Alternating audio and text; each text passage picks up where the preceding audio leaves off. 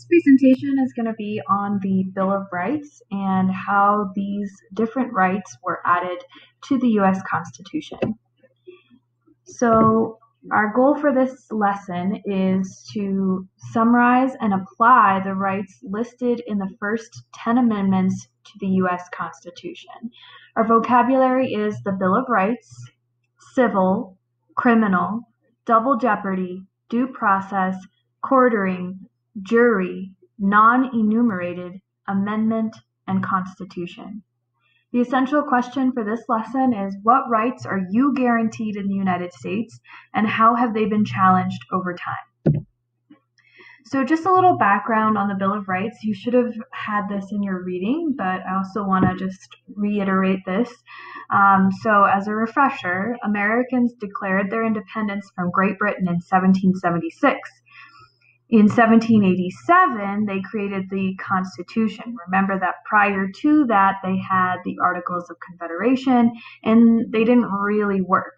Okay, the Constitution was a compromise between the Federalists and the Anti-Federalists, and part of the way that they got that ratified was by including these Bill of Rights.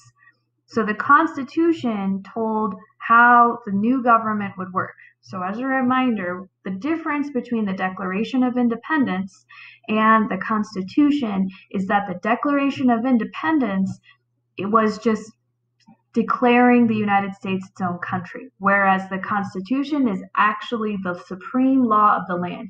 It is the document that makes up our government. So, when they ratified the Constitution, some people, the anti-federalists mostly, were not afraid were, were not happy with how the Constitution didn't say enough about the rights of the people. So in 1791, they added the Bill of Rights, and the Bill of Rights are the first 10 amendments to the Constitution, and they are individual rights that the government cannot take away. We're going to see later on as we go throughout the semester how the Bill of Rights has been challenged, especially by modern technology. The First Amendment, and probably the most um, influential one or the most well remembered, is really important because it protects five things. So there are five protections in the First Amendment.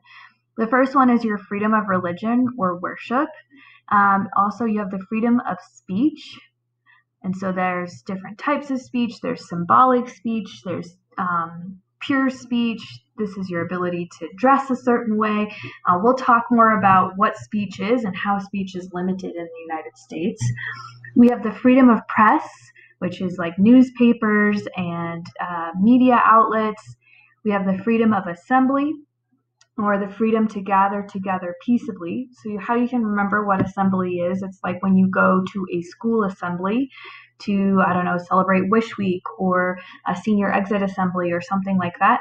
That is literally means a gathering of people.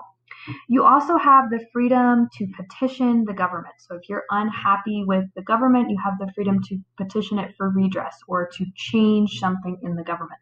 That's all protected in the First Amendment. The Second Amendment, which is also a really hot topic in the United States, is the right to keep and bear arms or guns. Um, some of you did this for your first assignment uh, that we did on something worth fighting for. It's a very uh, controversial topic, but has a lot of um, foundation in the American government that was created. The Third Amendment is the amendment that limits the quartering of soldiers. So the word quartering is actually an old word that we rarely use today. It means to house and feed. Um, so basically, what this amendment was doing was trying to protect the people from having to house and feed soldiers in times of peace and in times of war. And so, why they included this was during um, the time prior to the American Revolution, British soldiers would just go up to their houses and say, "Hey, you have to you have to let me in. You have to let me stay at your house." And they couldn't say no. The British government required them to allow soldiers to stay in their home, to eat their food. Um, and so, as a protection to this, uh, to prevent this from happening, the Anti Federalists and the Federalists compromised to include the Third Amendment. The other amendment, which is extremely important, is the Fourth Amendment. Um, and the Fourth Amendment protects your rights from unreasonable searches and seizures. Um, so, really, what this is about this is your right to privacy. This is your right to have privacy from the government, from police officers. Um, and really, when we're going to talk more about how this works later on when we get to our civil liberties unit, but um, really, really important, right? And something that is brought up a lot now, especially when we look at what happened with the case of uh, Breonna Taylor and things like that. So we will come back to that. We'll circle back to that and look at that debate, um, especially surrounding that case later on. Uh, the other amendment that, again, another really important amendment that a lot of people are familiar with is the Fifth Amendment. Um, the Fifth Amendment gives a person the right of due process of law. So, what due process of law really means, it just means that you have the right to a fair process, right? You can't just be thrown in jail without any trial, without knowing what you're charged for. If you are arrested and um, charged with a crime, you have the right to go through a process in the judicial system, and the government can't just come in and sweep you away. Um, another thing that's really important with this is that it says you cannot be charged twice for the same crime. This is known as double jeopardy. Um, and one of the most famous cases that is involved with this is um, Gideon versus Wainwright, in which a man was charged with robbing a convenience store and then he was exonerated of the crime. The cops came back and said, hey, we found evidence, and, and so they charged him again twice for the same crime and tried to throw him in jail for that same crime. Um, and that was known as double jeopardy. Another really famous case with this is the uh, O.J. Simpson trial. Um, actually, this this clause in the Fifth Amendment actually protected him uh, because originally, if you didn't know this, uh, Kim Kardashian's dad was O.J. Simpson's lawyer, and he defended him. He said, you know, if the glove don't fit, you must acquit is a really famous line from the trial. Um, but he was charged with murdering his wife. Um, and in that trial, he was found innocent. Well, later on, they found guilty. The, the, the court said they found more evidence that he was actually guilty, and they tried to go back. And because of this clause, they could not recharge him. Um, so if you didn't know that, that's why the uh, Kardashian family got really rich and famous. Um, and then also, the Fifth Amendment protects uh, your right to not testify against yourself. So, really, what this means this is your right to remain silent. Everybody knows this from the cop shows, right? Where the cops are going through your what are called Miranda rights. The reason they're called Miranda rights is because it was based on a case called Miranda versus Arizona. Um, in that case, is really just solidifying that you have the right to not speak to the cops. Okay, there are only two things you do have to, and you are legally required by law to tell a police officer, and that is your name and your date of birth. Everything else you can remain silent on. Okay, um, and again, I'll talk more about this when we get into our civil liberties unit. And then, uh, kind of a random caveat that is added into the Fifth Amendment is uh, this clause that if the government takes your property for private use, then they, um, or for public use, I apologize, then they have to pay you the cost of your private property um, in order to take that from you. So, for example, if they need to build a highway right where your house is, they would have to compensate you. Um, so, you can imagine why that would be beneficial especially uh, you know you don't want to just lose your house and then you know the government comes in and says hey you got to give this up for free okay the next two amendments that we're going to talk about we have to really define two terms and these two terms are criminal versus civil cases okay so a criminal wrong is punishable by jail time so in a criminal case you are either found guilty or innocent However, there's another type of case, and this is called a civil case. So in a civil case, this would be like a lawsuit. And if you lose this, you have to pay money to the other party. Okay, so that's the, the two main differences between criminal law and civil law. So the Sixth Amendment is about your rights in a criminal prosecution. So that in a case where you could be found guilty or innocent. So really what it's doing is it's giving you the right to a speedy trial by jury. A jury is a group of your peers, usually a group of 12 people, and they're the ones that are going to look at the facts that are presented by lawyers and decide if you are uh, innocent or guilty. And then it also states that you have the right to be confronted by a witness.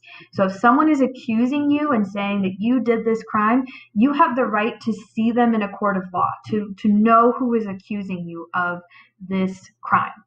Okay, then also this guarantees you the right to legal counsel. So this is where that line from the Miranda right says you have the right to an attorney. If you cannot afford an attorney, one will be appointed to you. So basically, this is ensuring that you have the right to a free public defender in a court of law, so you do not have to represent yourself. The Seventh Amendment is dealing with a civil case or a lawsuit. And this says that you have the right to a trial by jury in any lawsuit that is of a value of more than $20. So then you can have a lawyer representing you in this case, and a jury will decide if you are what they call liable, meaning you have to pay, or not liable, meaning you don't have to pay. The Eighth Amendment uh, well, is really important too because it prohibits excessive bail. And bail is, if you don't know, is money you have to pay to get out of jail. And it also prohibits cruel and unusual punishment. Um, the reason they included this was prior uh, to their experience with the colonies, people used to be, you know, tortured as a means of punishment. You could uh, be flayed, you could be put out in these little stocks, and you know, people could throw food at you. You could have any means of torture done to you, um, and that would be considered legal under law.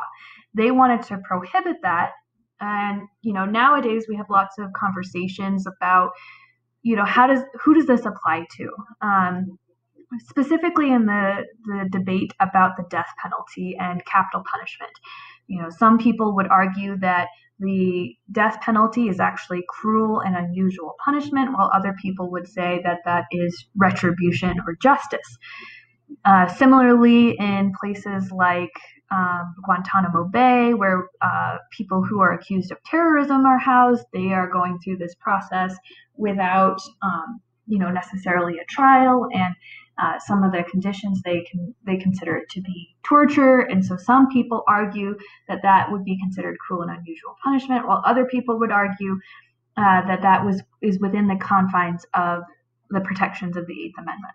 So another important one that we debate constantly. The Ninth Amendment says that people have non enumerated rights. So, non enumerated means essentially not listed. So, really, this is like your insurance policy in the Constitution. It says that if a right isn't listed in the Constitution or in the Bill of Rights, that doesn't mean you don't have it. They wanted to do this because they were really worried that if they didn't include this, the government would say, well, these are all the rights you have, and you, you can't say you have more, right? So they wanted to include this to make sure that just because it's not explicitly stated doesn't mean you don't have it. And then finally, the 10th Amendment is really about this principle of federalism, which you guys took a quiz on earlier this week.